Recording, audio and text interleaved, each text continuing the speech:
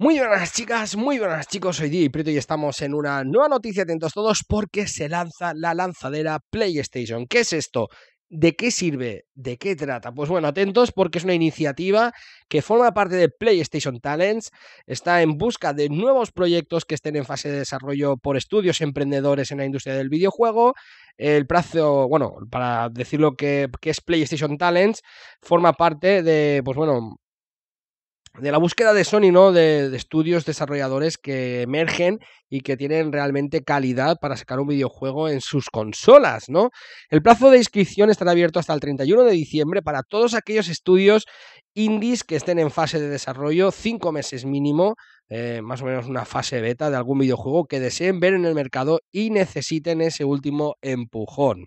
La compañía elegirá cuatro proyectos y les cederá un espacio físico para trabajar en Madrid, kits de desarrollo de PlayStation 4, asesoramiento técnico y legal y una campaña de comunicación en medios propios durante el lanzamiento.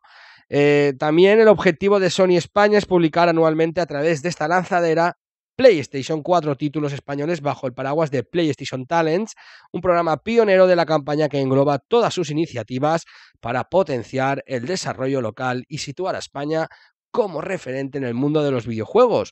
La lanzadera PlayStation quiere dar apoyo a esos estudios independientes que tienen mucho talento, pero que les faltan medios y ayudas para poder ofrecer su para poder hacer su proyecto realidad.